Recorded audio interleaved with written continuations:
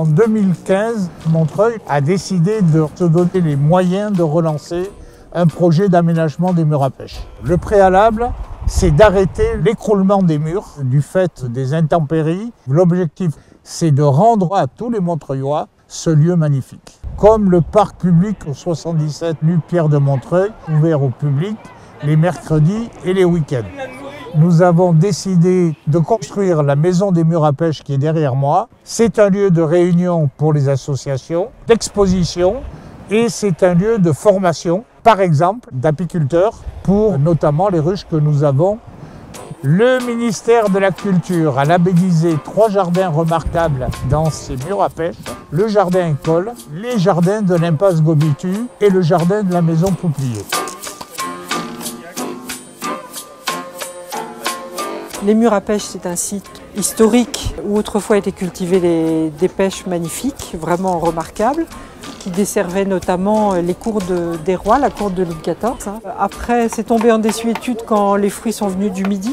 Euh, après, ça a été des décharges et tout ça. Il y a eu 8 euh, hectares qui ont été classés. Un tiers qui appartient à la mairie, un tiers privé et un tiers au conseil général. Et la mairie, sur le tiers qu'elle avait, elle a lancé un appel à projet. Et donc différentes associations, dont la nôtre, le Jardin de la Lune, ont répondu donc nous, nous sommes euh, un jardin d'inspiration médiévale, c'est un jardin essentiellement pédagogique, avec des plessis, et toutes nos plantes sont des plantes qui existaient déjà au Moyen Âge et qui avaient une utilité culinaire ou médicinale. Les plantes d'origine, de plantes qui souvent ont été hybridées par la suite. On travaille en collaboration avec d'autres associations de l'impasse Gobétu. On fait une permanence, donc on est ouvert tous les dimanches. Ici, moi j'ai voulu faire un jardin d'entraide. Donc cette parcelle a servi d'espace pour les jardins du cœur. Et en ce moment, eh ben, c'est moi qui jardine. Donc partout dans les murs, si vous regardez, on retrouve des traces de rouille, parce que ça servait à palisser. Les terrains n'ont pas toujours été d'une très grande propreté. Il faut éviter de planter des plantes qui vont dans le sol. Donc ce qui marche bien, c'est les petits fruits, les figues, les pommes. Généralement, les fruitiers ne sont pas impactés. Des prunelles, si vous voulez goûter, allez-y. Je suis totalement dépaysée. On se croirait dans une province, dans une campagne. Beaucoup de fruits, beaucoup de légumes, beaucoup de plantes. Euh, c'est très joli, c'est verdoyant. L'idée originale, c'était proposer aux adhérents de l'association, des personnes âgées, domiciliées à Paris, de s'extraire un petit peu de l'environnement urbain dans lequel ils vivent et puis de passer un petit peu de temps euh, ici. J'aime bien venir parce que c'est vert, c'est pas loin de Paris. Tout ce qui est vert qui me rappelle la campagne de mon enfance. Euh, je parle aux plantes comme je faisais. Je reconnais certaines plantes. Ça fait plaisir. Moi qui joue le premier Bah oui Un atelier de jardinage qui a fonctionné pendant de nombreuses années. Les adhérents de l'association étant un tout petit peu vieillissant, qu'on a depuis euh, plusieurs années commencé à mettre en place euh, ce partenariat avec l'autre association. Je viens jardiner un jour par semaine euh, pendant du printemps à la fin de l'automne, les jeudis et puis maintenant depuis cette année on a ouvert aussi les dimanches. Donc du coup, bah là, on essaye d'ouvrir des nouveaux ateliers ouverts à tous, notamment aux habitants du quartier. Euh, ça, vaut mieux le mettre au compost qui est juste derrière. Sur cette partie ici, qui donne dans l'impasse Gobétu, ce sont des jardins. De l'autre côté, là-bas, ce sont des activités artistiques.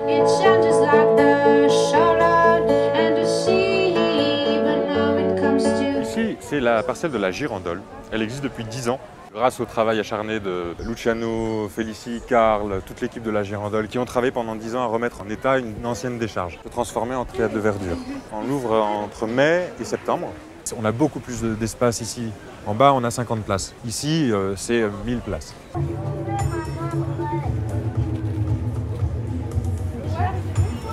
Le Sens de l'Humus est une association qui est née en 2006 autour des questions d'agroécologie, de permaculture et d'agriculture urbaine. Elle euh, développait un premier jardin expérimental et puis Madame Geneviève Fouplier, la plus ancienne horticultrice encore en activité à Montreuil, de par son état de santé ne pouvait plus gérer toute seule son jardin et donc elle a appelé à l'aide l'association qui est venue lui prêter main forte. Et depuis, malheureusement, Geneviève Pouplier nous a quittés et l'association continue en fait de perpétuer cette tradition de développement du jardinage en milieu urbain. L'association s'occupe d'aménagement de jardins en pied d'immeuble, de manière à créer du lien social au sein du quartier. Et elle mène des actions d'éducation à l'environnement. On a l'école d'Anton qui vient, qui est juste à côté, puis d'autres écoles euh, pour lesquelles on fait des ateliers. Et on accueille un public bénéficiaire du RSA, euh, éloigné de l'emploi, envoyé par des services sociaux pour se ressourcer, pour retrouver un goût, à faire quelque chose ensemble euh, avec d'autres. La dimension thérapeutique du jardinage, on a tendance à, la minimiser dans nos environnements de cité euh, qui sont bétonnés, mais il faut vraiment qu'on revienne là-dessus, reverdir la cité. ça, ça me semble des conditions essentielles pour avoir du mieux vivre ensemble.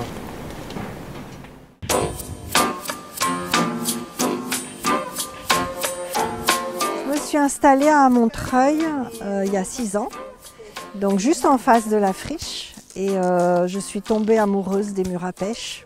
J'ai déposé le projet au budget participatif. Et ça rentrait pas dans les cases, mais là, j'ai trouvé la bonne personne, Sébastien Vandeval, et il m'a dit votre projet m'intéresse parce que c'est un projet de quartier d'habitants. C'est très important qu'il se passe quelque chose sur la partie est du site puisque la coupure en deux du site par l'autoroute a accéléré son déclin. La reconquête s'est plutôt faite par l'ouest et par l'impasse Gobetu où des appels à projets ont installé des associations. Que jusqu'à présent, le site est, lui, n'était pas très développé. On a commencé donc avec les voisins à nettoyer. C'était malheureusement un peu une déchetterie de pas mal d'entreprises. Des bouts de voitures, des bouts de motos. Je me suis dit on va jamais y arriver.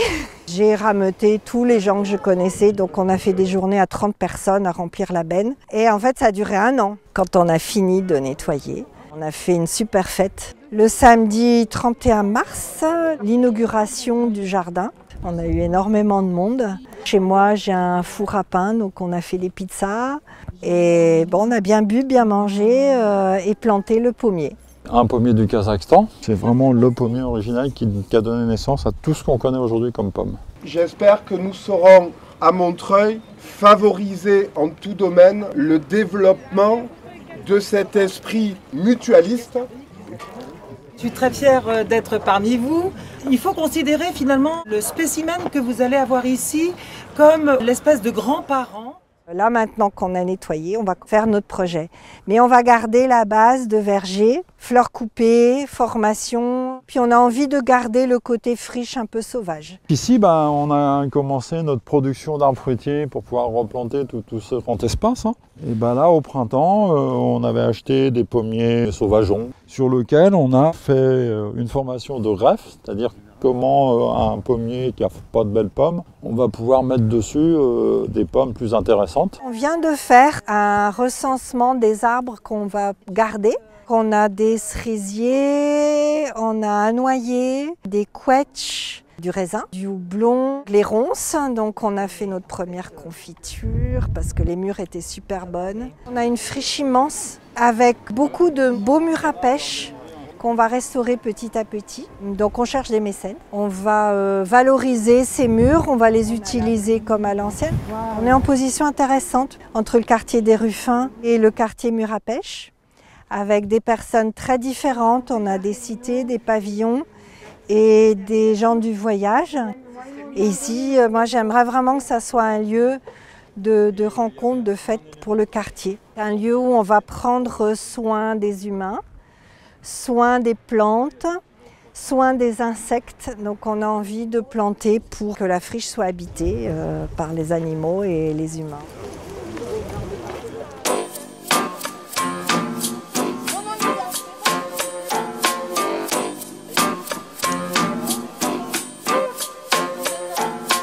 Alors Jardin des couleurs a été créé en 2012 hein, à la suite d'un appel à projet de la ville pour mettre en culture et en animation euh, des nouvelles parcelles. Tout à l'est du site des murs à pêche, donc euh, dans un quartier environné de, cités et de pavillons. C'est la rue de la piscine.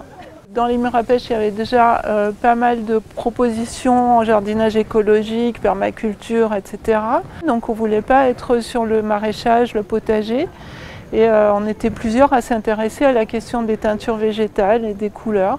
On était un certain nombre avec pas mal de bénévoles très enthousiastes au début et un champ entier de cornouillers, c'est des gros arbustes avec des grosses racines. Donc ils ont vite abandonné, surtout qu'on travaillait à la pioche. Petit à petit, moi je faisais aussi des animations et j'ai réussi à avoir des budgets et donc on a été plusieurs salariés pour créer le jardin et avoir tous les équipements qu'il y a aujourd'hui. On a dégagé, maintenant on peut aller jusqu'à là-bas tout au fond. C'est comme un labyrinthe là-bas. Il y a plein d'espace. Tu peux te perdre des fois, mais des fois tu retrouves la route à cause d'un panneau.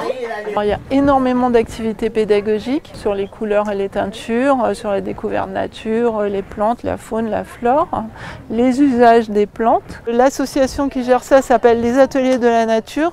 Un chou entier, ça, fait euh, deux, flacons comme ça.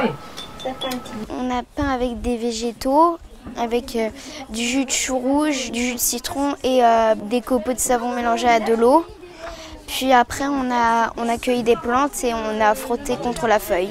Il faut un peu enlever l'écorce, mais euh, c'est pareil. Hein. Pendant des siècles, voire des millénaires, c'était des plantes qui permettaient de colorer les tissus. Donc on a ici les principales plantes qui servaient à colorer les tissus. On travaille maintenant beaucoup avec l'école de quartier euh, Anatole France et c'est un vrai plaisir.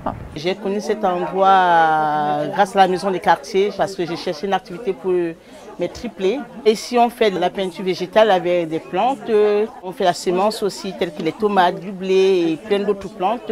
J'ai appris par exemple voilà, faire des beignets au sirop avec des fleurs. Je n'avais jamais mangé des beignets aux fleurs. J'habite en face.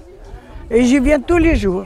L'année dernière, j'ai parlé avec Françoise, me prêtait un morceau de terrain pour planter les tomates, la salade, des piments, des fleurs, tous les traités. Nous, on est très contents. On fait tout ensemble.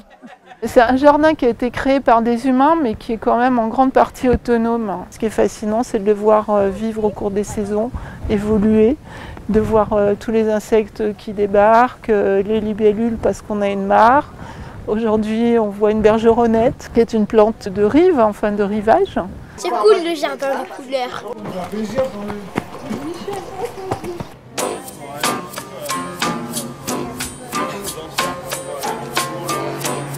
Les murs à pêche, ça représentait un tiers de la ville de Montreuil, qui était surnommée euh, Montreuil aux pêches au XVIIIe siècle.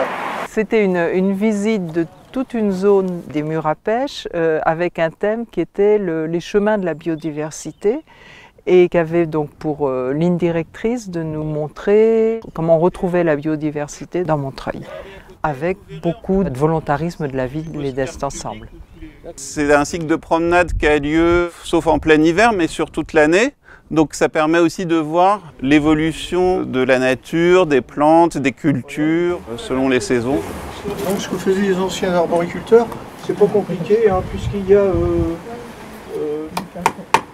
3-4 cm de plantes. Moi j'habite Montreuil depuis longtemps, je vais souvent dans les murs à pêche et je cultive un jardin partagé. Donc toutes ces questions-là m'intéressent bien. Ce que j'ai appris, c'est que la ville avait vraiment un plan sur plusieurs années et c'est ça que je voulais savoir. La difficulté quand on aborde la question des murs à pêche, c'est qu'on n'est pas sur un endroit où nous avons un seul propriétaire, mais vous avez des propriétaires privés, vous avez euh, la ville qui est propriétaire de terrain, vous avez euh, le département, l'État également. Euh, donc il faut d'abord arriver à se mettre d'accord un peu tous ensemble sur la façon dont on envisage l'avenir de ce site. C'est un sujet complexe, mais l'enjeu en vaut le coup, surtout quand on veut offrir au public la possibilité de découvrir ce qu'est le rue Hugo Bétu. Il y a à la fois donc un aspect historique avec euh, des, cultures fruitières euh, qui avaient lieu et qui sont encore aujourd'hui faites par des associations. Un aspect de la biodiversité avec le projet de réouverture du rue Gobétu, un petit ruisseau qui traverse le site de part et d'autre avec les restaurations des murs euh, sur lesquels voilà, il y a plein de choses intéressantes à dire se rendre compte aussi, parce que ça a occupé le tiers de la ville de Montreuil, donc imaginez voilà, ce que ça pouvait être Montreuil il y a 100 ou 200 ans. Mais si on enlève toutes les herbes folles, c'est fini. Voilà, quand ça. va, le soleil va taper.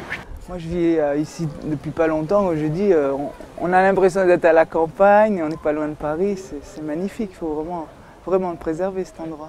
Plus il y a de gens qui sont conscients que c'est un trésor, mieux c'est.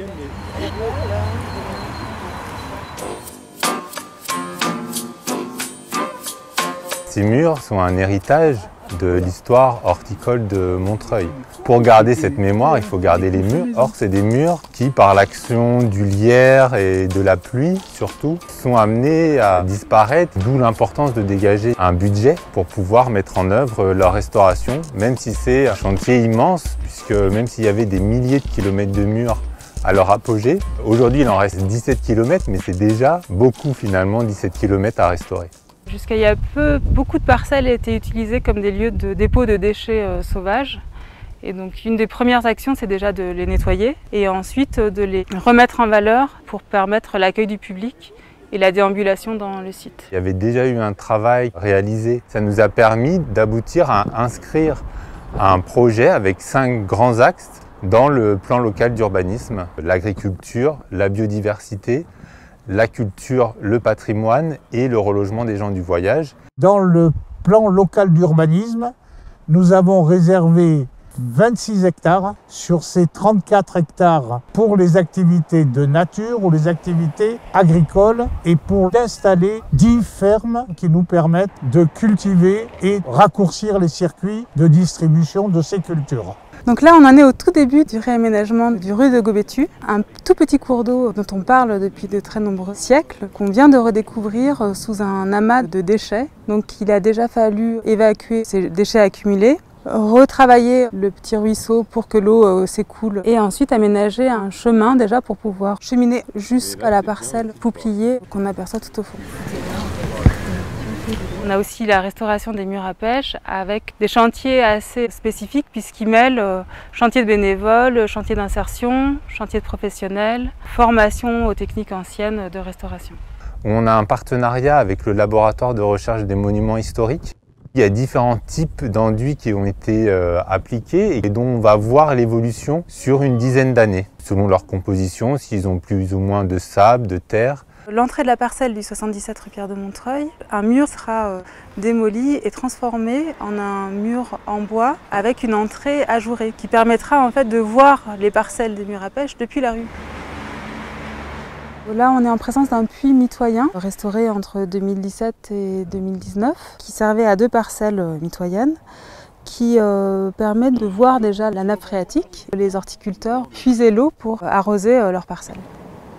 Beaucoup de terres sont polluées et la pollution se retrouve en grande quantité dans les eaux euh, à la fois du ruisseau mais aussi euh, de tous les puits. Cet automne, le travail euh, d'aménagement consistera donc à restaurer les murs, à poursuivre les analyses pour savoir d'où vient l'eau, où est-ce qu'elle va et comment est-ce qu'on peut travailler par la phytoremédiation, l'épuration de l'eau et des sols par les plantes pour éviter que cette eau ne soit trop polluée. Fais gaffe, fais gaffe, si c'est trop profond, on n'y va pas. Il y a la facère de la rue Saint-Just qui nous a beaucoup aidé à nettoyer le site, les pierres de Montreuil euh, pour la restauration des murs, différentes associations et plein plein de bénévoles.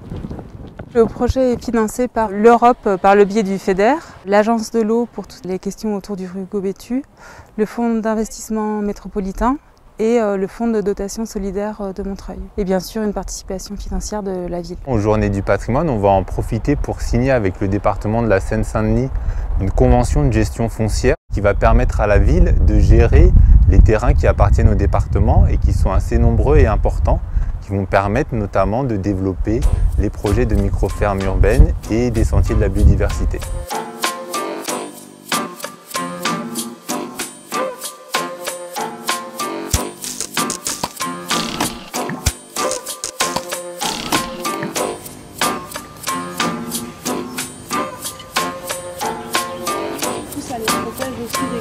Fait du land art au mur à pêche dans le cadre du festival depuis plusieurs années.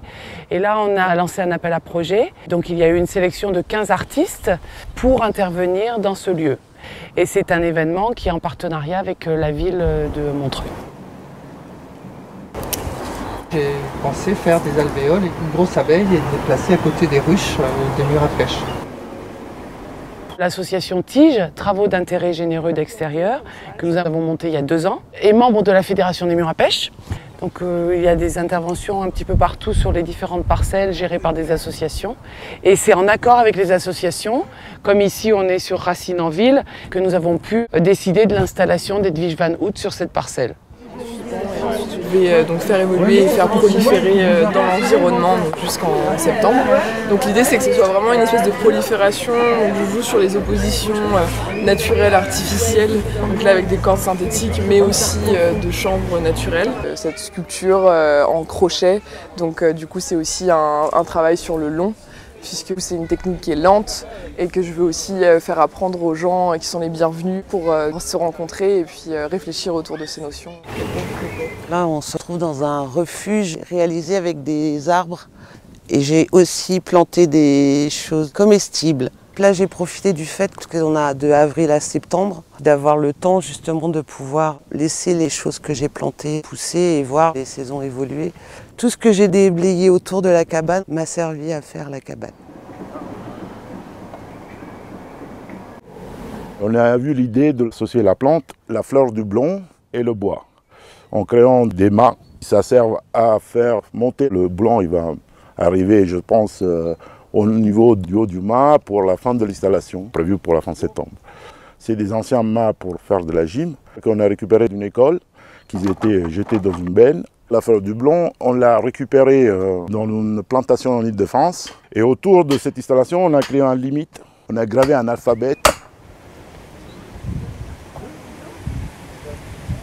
Sous les murs à pêche, il y a une vie. Ce que j'essaye de faire là, en creusant ces trous, c'est un réseau sous-jacent mais aussi ce que je cherche, c'est un espèce de maillage osseux, de squelette interne, comme un habitat troglodyte. J'ai fait des ateliers avec des enfants euh, dans l'école Anatole France qui se trouve à côté. Ils ont travaillé sur des yokai avec de la cire. C'est des esprits japonais qu'on retrouve dans la nature. On a envie que les enfants du quartier investissent ce lieu, le connaissent et puis le fassent connaître à leurs parents parce qu'il y a plein de gens en fait qui sont des voisins et qui ne connaissent pas cet endroit pour avoir envie de le sauvegarder et de s'investir dans ce lieu.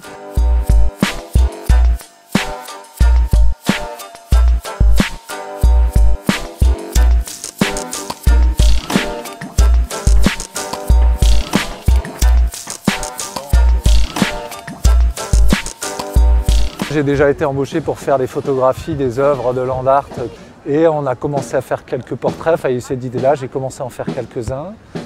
Et comme j'ai vu que ça me fonctionnait vraiment, on s'est dit que c'était plus pertinent. Donc là, je me suis dit que j'allais partir de l'œuvre. Je cadre d'abord l'œuvre, je trouve un cadre de l'œuvre qui n'est pas un cadre global vu que ça, les photos, je les fais déjà, qui est plutôt un cadrage resserré. Et j'y intègre l'artiste qui, pour moi, rejoignait la démarche du land art où on part du lieu, du contexte et on y intègre la création.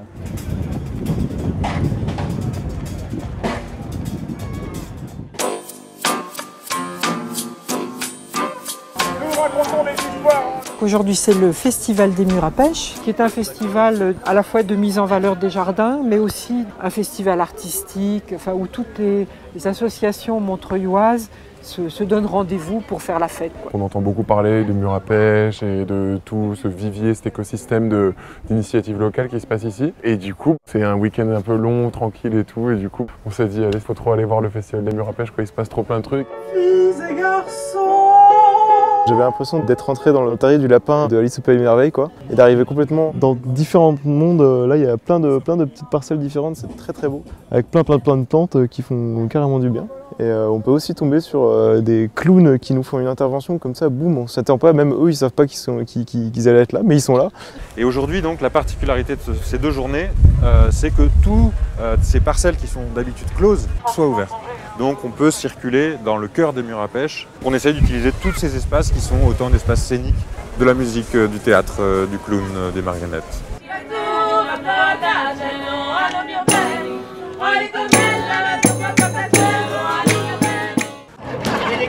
Hein. Nous sommes venus voir la compagnie en chantier et pour visiter enfin ce lieu euh, magnifique. Un petit coin de paradis. J'ai vu des associations, j'ai vu des spectacles. Euh, j'ai vu des jardins qui sont ouverts. Euh, il y a le sens de l'humus par lequel on peut accéder là-bas maintenant par le rue Gobettu, les lézards dans les murs, écodrome, euh, les pierres de Montreuil qui sont en train de s'y reconstruire les murs autour de nous. Il y a un fruit défendu qui est un peu excentré, qui vient d'ouvrir, c'est encore très sauvage, il y a beaucoup de land art là-bas. C'est confié aussi au ministère de la culture brésilienne exilée, ils vont animer toutes ces deux journées. C'est une entrée libre et on vend le fanzine pour euh, financer euh, différentes choses sur le festival et aussi euh, toutes les associations euh, qui sont là euh, tout au long de l'année. Ce festival est organisé par une fédération d'associations et aussi des bénévoles qui spontanément proposent leur aide, que ce soit des Montreuillois ou des personnes de villes alentours. Je sais, mais moi, je fais ma part. Au départ, euh, c'est parti par euh, l'association Mur à Pêche qui a créé euh, le festival, mais qui a aussi œuvré au classement d'une partie du site. Et c'est aussi eux qui se sont dit que ce serait bien d'en profiter pour faire une fête aussi. Et donc l'idée de la fête, c'est de faire connaître l'espace pour pouvoir le défendre mieux. En fait, on se dit que si les gens savent que ça existe, ils auront envie de défendre leur, euh, leur patrimoine et défendre euh, ces espaces de, de, beauté dans la ville. Des espaces verts qui sont toujours aussi beaux les uns que les autres. J'ai vu des gens qui sont émerveillés de découvrir cet espace vert qu'il faut surtout préserver. Ça contribue à l'épanouissement d'une ville. C'est faire la fête, euh, mais pas que. Ce qui me motive, c'est vraiment de défendre tout cet écosystème, cet écrin de verdure.